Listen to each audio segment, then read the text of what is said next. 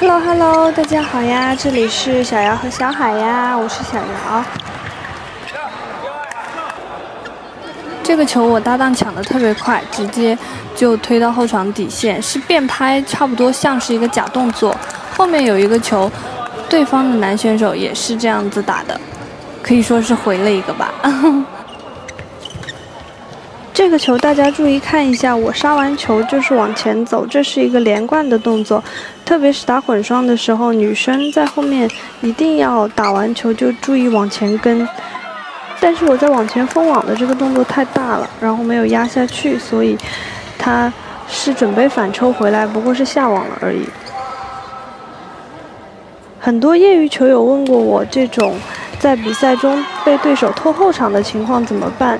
只能是稍微站退一点，然后大家稍微注意一下。而且这种球最好是不要想着去进攻了，因为会增加自己的失误率，要求太高就会容易失误。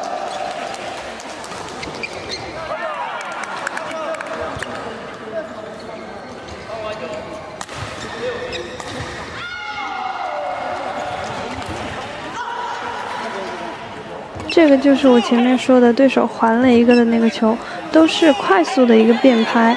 这一个球大家是可以去学一下子，因为比较简单，但是对发力也是有一定要求的，不然球速就会比较慢，会达不到想要的效果。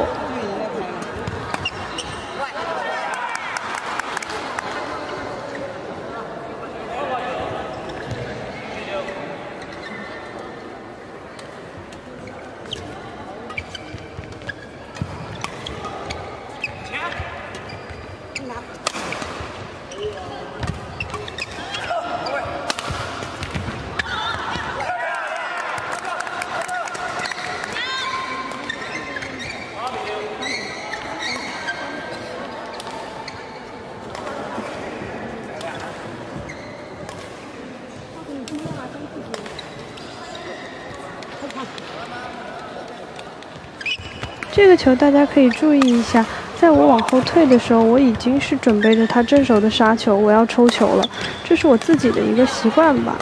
然后我搭档这个球，其实如果他能在中间稍微变一个斜线，或者是抽一个斜线的话，效果就会很不一样。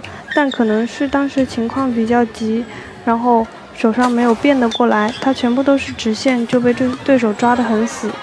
在比赛中，如果想在对方压得比较凶的情况下去变线，其实还是挺难的。从这个球其实可以看出来，我往前封网动作真的有点大，然后收回来也比较慢，这是双打最忌讳的，因为动作大就代表你速度就会慢，这样就会非常影响往前封网的速度和出球对对手的威胁性。这两个斜线打的还是挺好的，我搭档抽了一个，我往前勾了一个。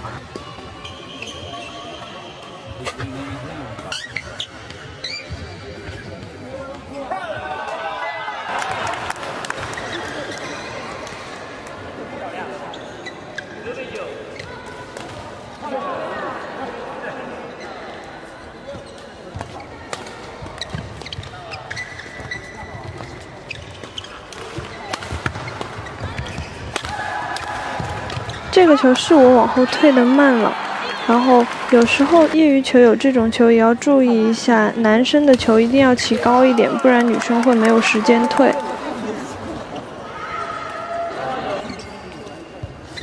OK 啦，那今天的视频就到这里喽，大家有什么不懂的或者想看的都可以评论私信我们哦。就这样，拜拜！欢迎大家点赞、收藏、加关注，爱你哟！